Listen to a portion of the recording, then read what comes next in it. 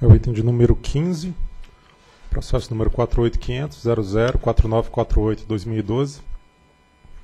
Requerimento administrativo com pedido de medida cautelar interposto pela Associação Brasileira de Geração de Energia Limpa, Bragel, com vistas ao expurgo dos prejuízos decorrentes da sazonalização ex post de garantia física ocorrida em 2013, em representação aos proprietários de usinas do Programa de Incentivo às Fontes Alternativas de Energia Proinfa, participantes do Mecanismo de Realocação de Energia, MRE. Relator diretor Reive Barros para este um pedido de sustentação oral.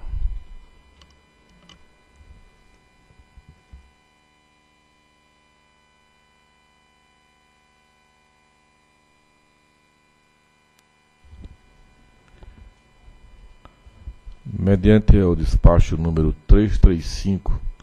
de 8 de fevereiro de 2013, a Superintendência de Estudos de Mercado, sem decidir alterar o prazo para a de garantia física referente ao ano de 2013, que deveria ter ocorrido em dezembro de 2012 para o período de 7 a 15 de fevereiro de 2013. A alteração ocorreu em razão da divulgação das cotas de garantia física e potência estabelecidas em conformidade com a Lei 12.783, que somente ocorreu em 11 de janeiro de 2013. Em 7 de março de 2013, a Eletrobras requereu a SEM a suspensão dos efeitos e a anulação do item 2 do despacho número 335, com emissão de um novo ato pela ANEL, determinando que, para o período de janeiro e fevereiro de 2013, a sazonalização ocorresse flat tal como na hipótese prevista no submódulo 3.3 do procedimento de comercialização. Por meio do despacho número 627, de 7 de março de 2013, o diretor-geral da ANEL concedeu o efeito suspensivo requerido pela Eletrobras e determinou à CCE a suspensão da liquidação e cobrança de valores que decorressem da aplicação do disposto no item 2, no efeito despacho, até a decisão final do mérito. Na oitava reunião pública ordinária realizada nos dias 12 e 13 de março de 2013, a diretoria, por unanimidade, decidiu, primeiro, convalidar o despacho número 627 de 2013, segundo, instaurar uma audiência pública na modalidade de intercâmbio documental pelo período de 13 a 22 de março de 2013 para, dentre outros, discutir o desfazimento ou não da sazonalização realizada para os meses de janeiro e fevereiro de 2013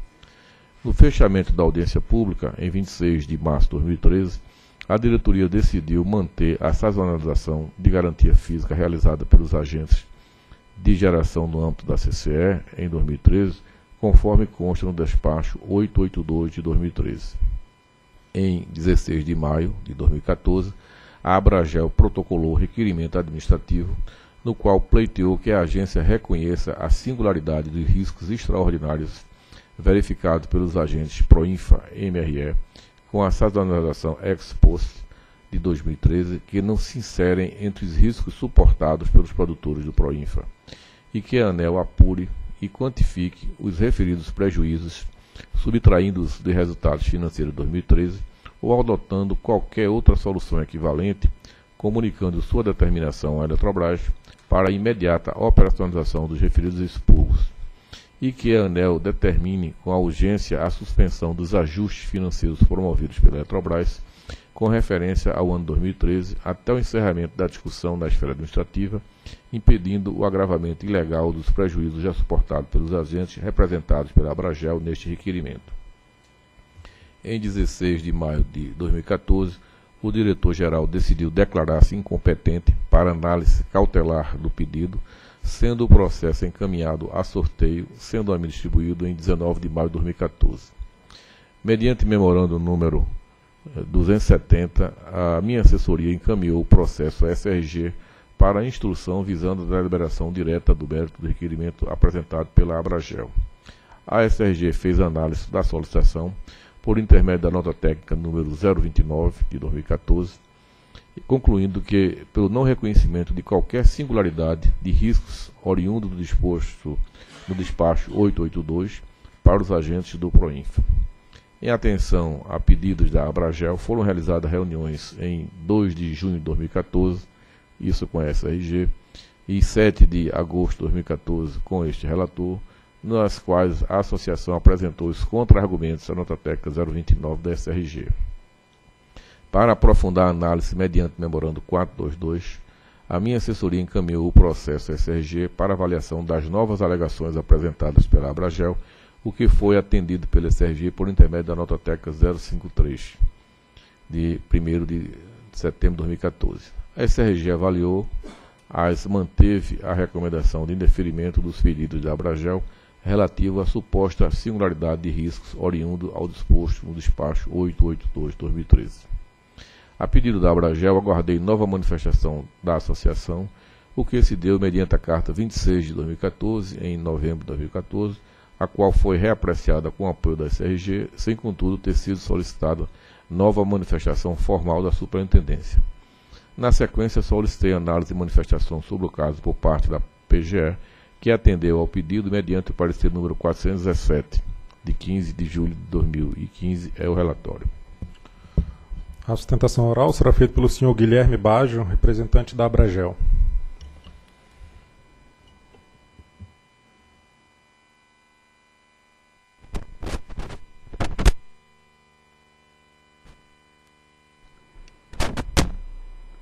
Boa tarde, senhores diretores, senhoras e senhores. É, o assunto é um pouco complexo, mas eu vou aproveitar esse meu tempo para tentar é, sustentar algumas, algumas questões envolvendo a instrução do processo, que foi muito bem descrita aqui pelo diretor relator, diretor Reive. Não vou fazer grandes é, sustentações é, argumentativas, vou apenas apresentar a nossa visão dos fatos e como nós discordamos é, em termos de fatos do que foi é, do trabalho que foi feito com todo respeito à SRG e à Procuradoria Federal. É que esse tema é, envolve é, geradores do Proinfa, mas geradores hidrelétricos do Proinfa, mais especificamente geradores hidrelétricos do Proinfa que são do EMRE. E nós vamos aqui mostrar, se eu tiver sucesso nessa minha apresentação, vou mostrar aos senhores que os fatos não deixam dúvida que não era possível a esses geradores se protegerem do movimento que foi feito pelo mercado de energia elétrica uh, na sazonalização ex post, que assim ficou conhecida, em, em, em janeiro, fevereiro de 2013. Esse é o meu objetivo. Então, para isso, eu vou é, apenas assim fazer um, um, um, esclarecimento sobre as peculiaridades do contrato Proinfa-MRE uh, ah, e a origem desse, desse dessa, dessa, desse fomento para a energia renovável no país. Bom, os senhores sabem muito melhor do que eu que decorreu de uma chamada pública proposta pela União a partir das previsões da Lei 10.438 é, de 2002. Então, longe de qualquer de, um, de, de que a origem do Proinfa tenha sido uma vontade negocial da Eletrobras é, longe de que não haja um caráter público de fomento desse, desse programa. E, e a Eletrobras, como eu mencionei, ela foi o instrumento utilizado pelo poder público, pelo poder concedente, para viabilizar esse, esse projeto é, de fontes renováveis. No nosso entendimento, ela é uma extensão do poder público, ela faz o papel de um, de um agente público na medida em que ela viabilizou a contratação dessa energia. E ela se dá, é, como a gente observa nessa figura, como um intermediário. Ela compra a energia dos geradores, PCHs, biomassa, eólica, e vende essa energia para as distribuidoras hum, por, hum, por meio de cotas. E isso, então, nós é, é, conhecemos, sempre praticamos, nós geradores, junto com a Eletrobras, sempre praticamos um, um registro desse contrato é, através de uma declaração que é feita todo final de setembro de cada ano, 30 de setembro, que é a, o, o PAG, Programa uh, de Geração, Programa Anual de Geração de Energia Elétrica, que nós também podemos chamar de sazonalização da garantia física, que é isso de fato que é feito, e que por sua vez se reflete na sazonalização dos contratos e das cotas. Então esse, essa é a peculiaridade que eu chamo a atenção e que talvez a gente é, encontre aí a maior divergência com a área técnica. Eu vou passar aqui rapidamente a contextualização, os senhores já, já foram é, bem contextualizados com, com o relator, com, com o relatório do relator. A única ponderação que eu trago é, diz respeito ao voto é, condutor então do, dire, do, do diretor é, André Pepitone, no, que resultou no despacho 882, em que ele a, afirmava que não era conveniente, não se podia, inclusive, é, desconstituir o que tinha sido feito, até porque não se poderia afirmar, naquela época, se havia prejuízo para os agentes, né, ou, ou se o resultado financeiro seria negativo. Claro, só poderíamos saber isso ao final do ano. Foi o que aconteceu e foi o que a Bragel aguardou, aguardou para ver o final do ano de 2013, quando então se constatou e eu chamo a atenção desse quadro, um prejuízo de 30, aproximadamente 30 milhões de reais, é, dos quais 46 corresponde apenas ao mês de janeiro, é, que foi o mês em que houve o grosso da sazonalização exposto. Lembrando que nós nunca discutimos, e a Bragel, em momento algum, questionou esse despacho. Pelo contrário, a, a nós vamos ver mais adiante, iniciou seu requerimento e nós tomamos o cuidado de deixar isso muito claro na primeira página do requerimento, que nós não estávamos discutindo o que havia sido feito na sazonalização ex post. Discutimos, sim, as consequências dessa sazonalização ex post para um grupo muito específico de geradores hidrelétricos eh, do MRE e contratantes da Eletrobras no Proinfra. Aqui nós temos também uma um descritivo de alguns valores, de alguns prejuízos por usinas. É, e então fizemos o requerimento no meio do ano passado, com base no fato do príncipe, que foi reconhecido assim, inclusive no voto da diretoria, que decidiu por manter a sazonalização ex post. Nós afirmamos e continuamos a afirmar que não, os agentes não podem se proteger dos riscos, não, poder, não poderiam se proteger dos riscos de sazonalização ex post, porque até aquela data era impossível a alteração, e eu chamo a atenção dos senhores que nós, então, nunca questionamos o despacho 882. Bom, na primeira, eh, nas primeiras discussões com a SRG, houve uma sustentação por parte da superintendência que não existia previsão normativa que impedisse os geradores de fazer a sazonalização dos contratos, tratando de modo que para os geradores do Proinfa nunca é, tinha, havia sido é, foi inédita. Por quê? Lembrando que os geradores do Proinfa não são agentes da CCE. Eles não têm acesso aos números da CCE, eles não recebem notificações do agente de mercado. Interessante, e só abrindo um parênteses, recentemente eh, o diretor Tiago abriu uma audiência pública na qual a CCE deveria solicitar informações dos agentes do Proinfa, desculpe, de todos os agentes do setor elétrico sobre o GSF, eh, e os geradores do Proinfa não puderam se manifestar porque não são agentes da CCE. Então,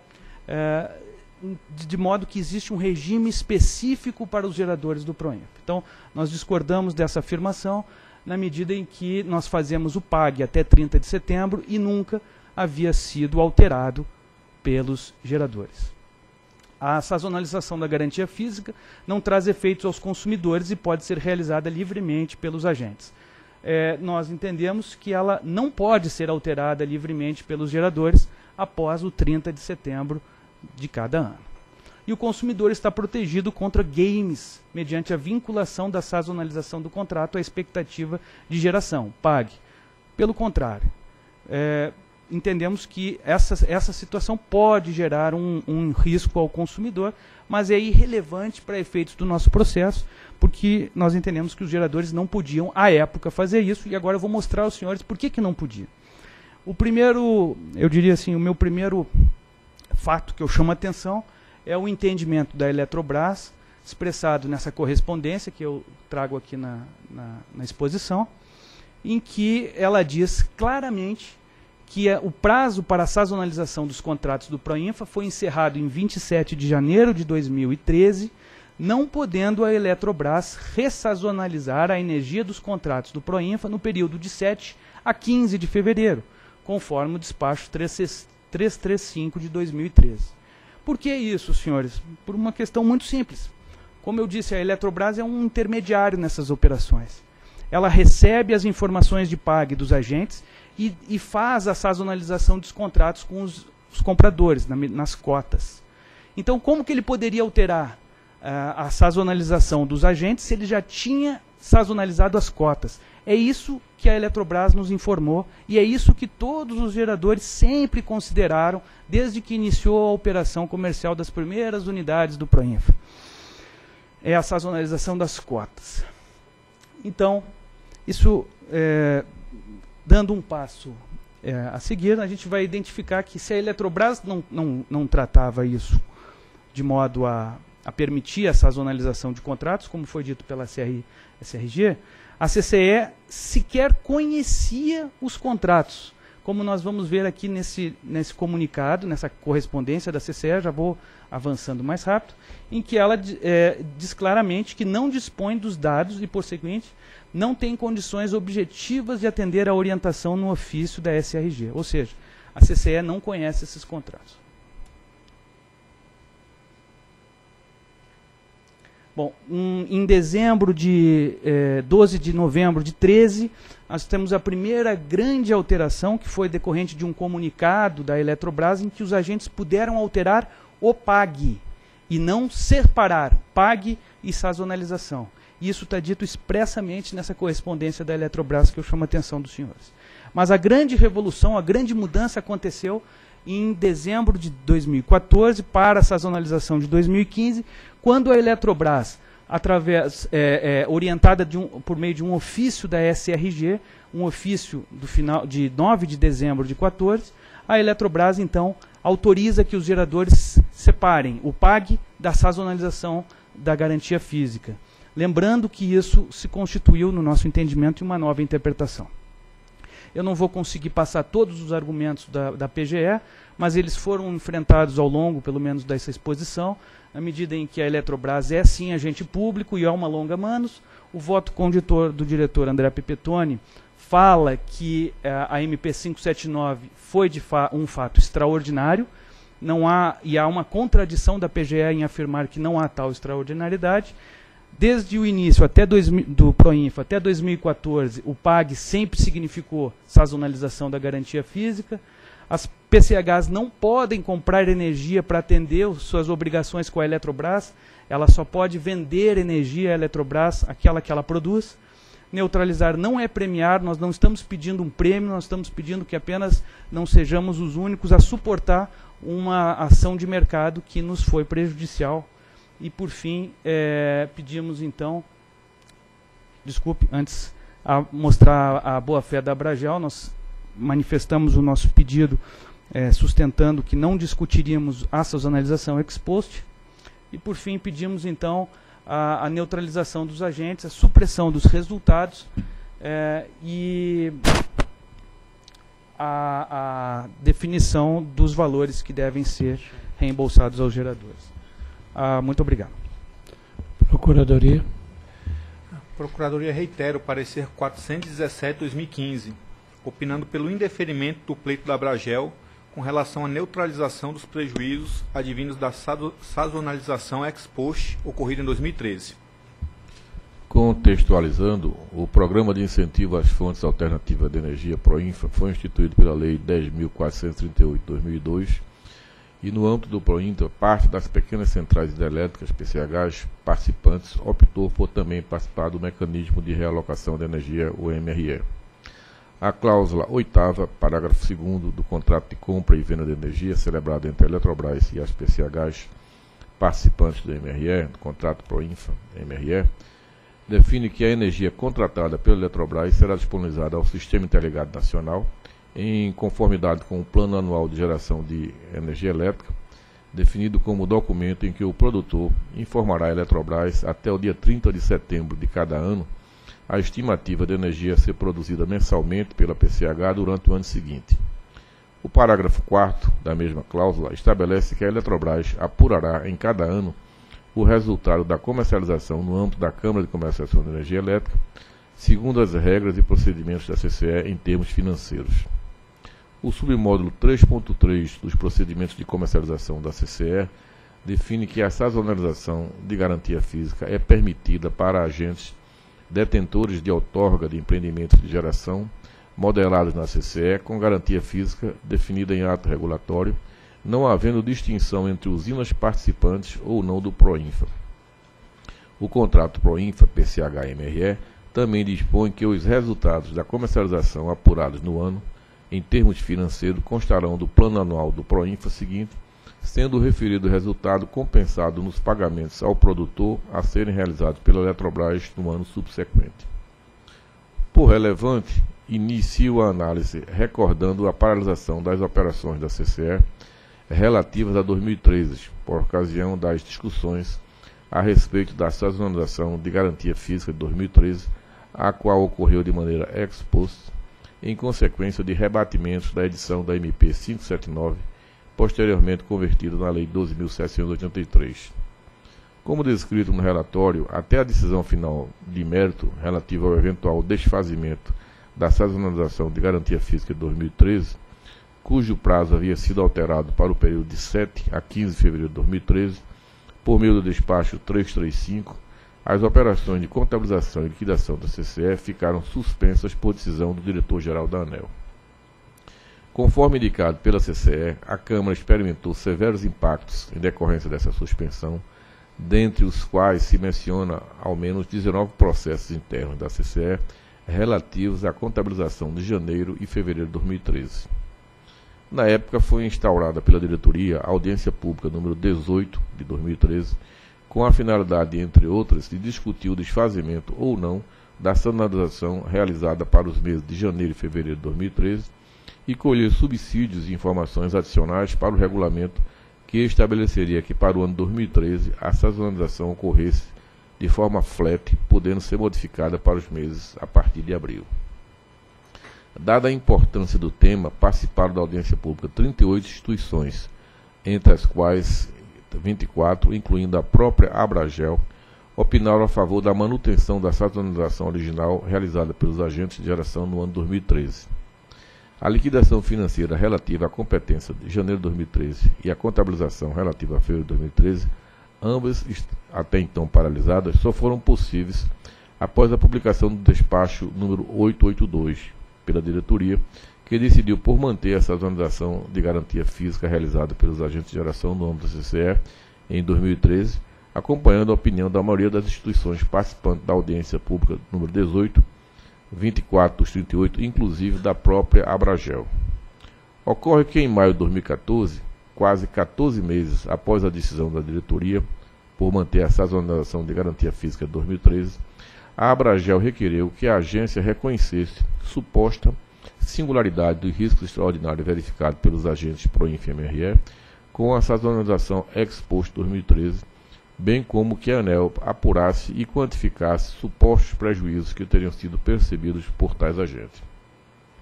Em análise, a SRG verificou que somente seria possível atender ao requerimento da Abragel se a ANEL procedesse à ressazonalização da garantia física das usinas do Proinfa, PCHME, e das demais usinas do MRE, independentemente da vontade destes últimos, de modo que ocorresse uma realocação de energia alocada em 2013 em benefício das usinas do Proinfa. Entende a SRG que não há outra solução para o atendimento do requerimento da Abragel, uma vez que no âmbito do MRE a energia alocada a mais para uns advém da energia alocada a menos para os outros, proporcionalmente às suas respectivas garantias físicas. Observa-se que a decisão da diretoria emanada pelo despacho 882 de manter essa sazonalização de garantia física realizada pelos agentes de geração no âmbito da CCE em 2013 foi tomada com o apoio da maioria dos agentes das áreas técnicas, sem SRG, da própria Abragel, e depois de 14 meses a associação vem requerer o reconhecimento de supostos riscos extraordinários e quantificação de supostos prejuízos. Convém nesse ponto transcrever trecho da posição da Abragel manifestada no âmbito da audiência pública número 18 de 2013. É, no item 2, há de argumentando das razões apresentadas no item anterior, plena legitimidade da eventual convalidação dos atos da SEM ANEL em questão com a preservação de seus efeitos. E terceiro, em qualquer hipótese, manifesta a necessidade de preservação dos efeitos jurídicos vinculados à posição jurídica dos agentes, de modo a inviabilizar a alteração da sazonalização já realizada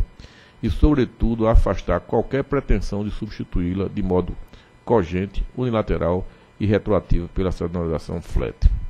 E nessas condições, diz a Abragel, entendemos que a adoção de solução que atenda interesse de apenas parte dos agentes, de forma não isonômica, trará graves perdas ao setor e ensejará discussões que certamente desbordarão desse âmbito administrativo. Observa de forma clara que a Abragel, no âmbito da audiência pública, defendeu a validade do despacho 335, que prorrogou o prazo da sazonalização de garantia física de 2013,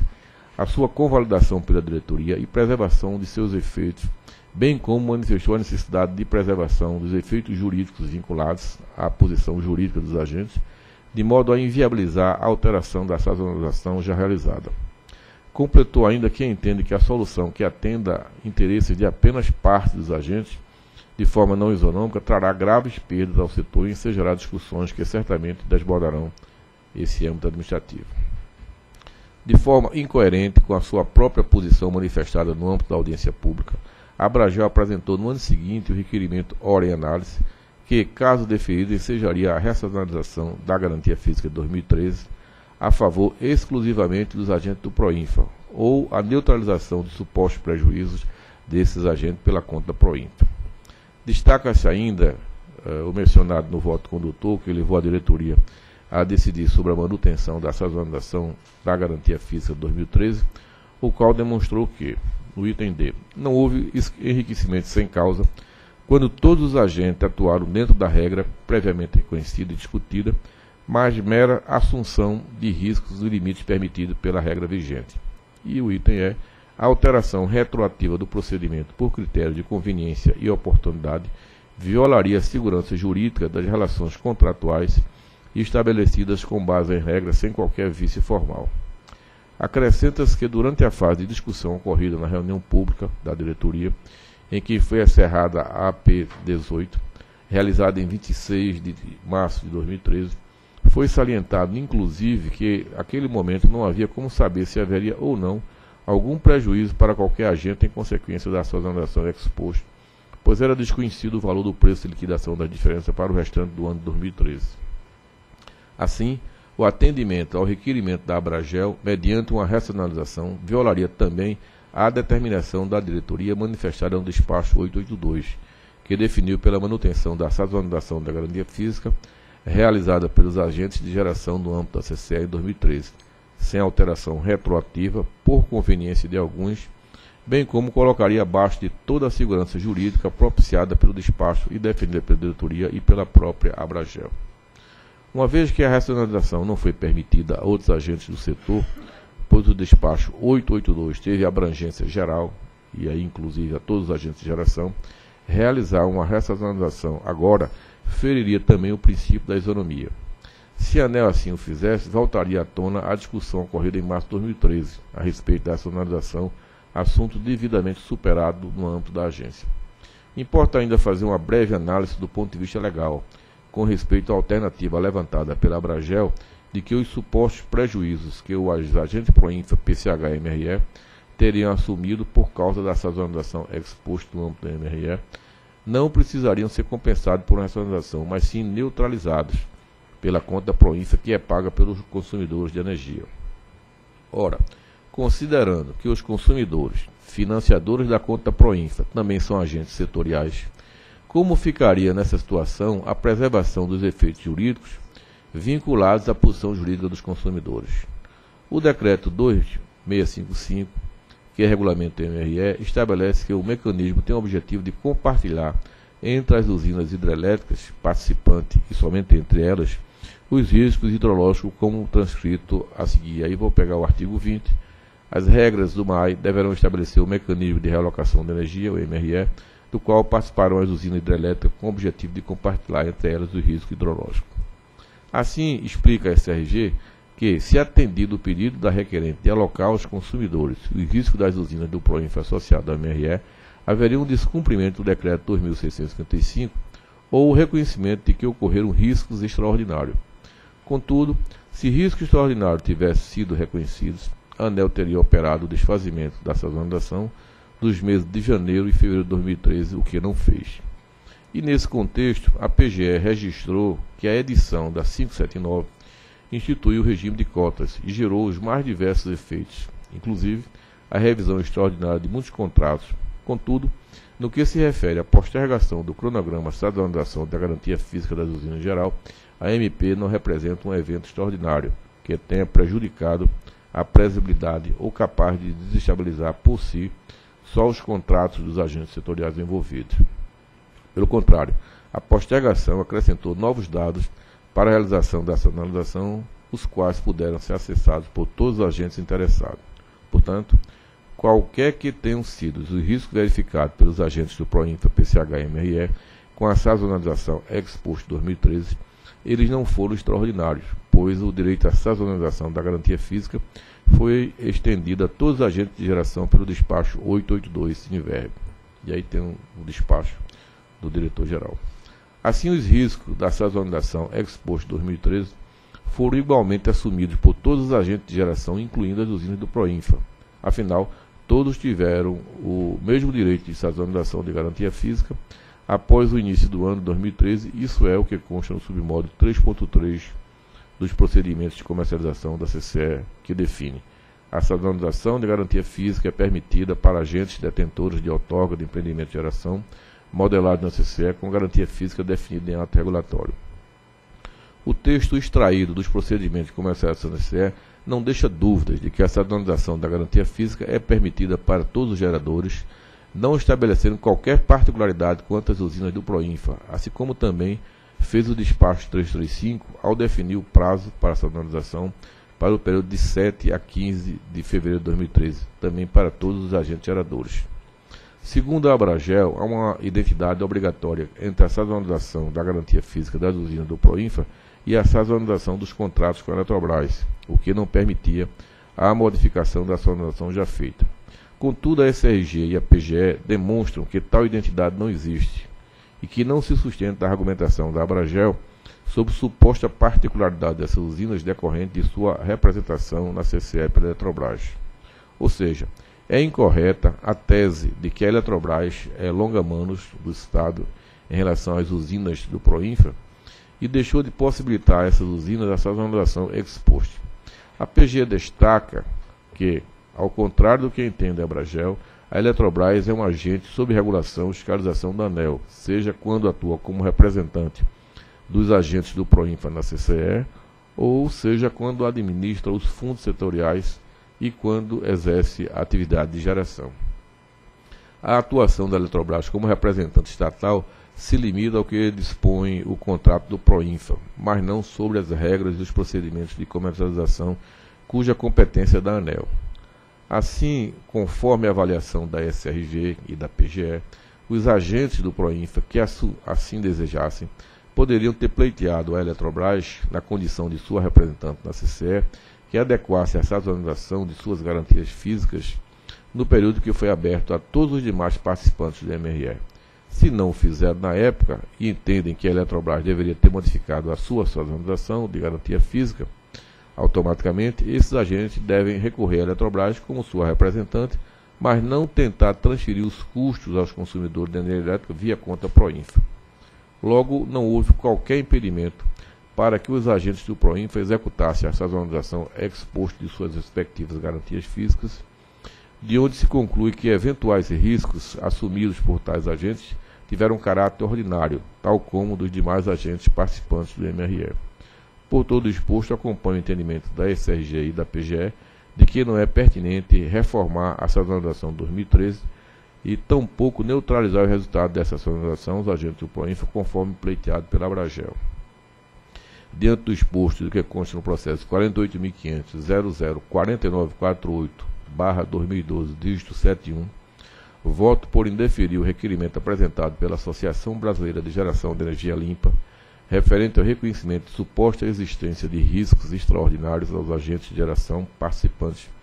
do Programa de Incentivo às Fontes Alternativas de Energia, o PROINFA, e do Mecanismo de Realocação de Energia, o MRE,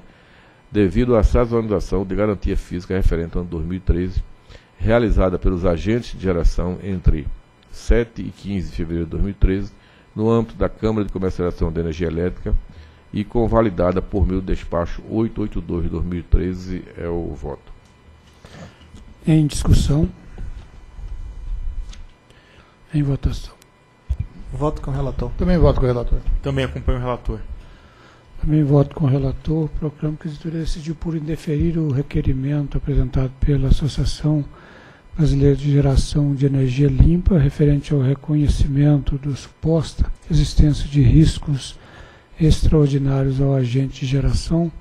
participando do Programa de Incentivo a Fontes Alternativas de Energia, PROINFA, e do Mecanismo de Relocação de Energia, MRE, devido à sazonalização de garantia física referente ao ano 2013, realizada pelos agentes de geração entre 7 e 15 de fevereiro de 2013, no âmbito da CCE, e convalidada por meio do despacho 882 de 2013. Próximo item.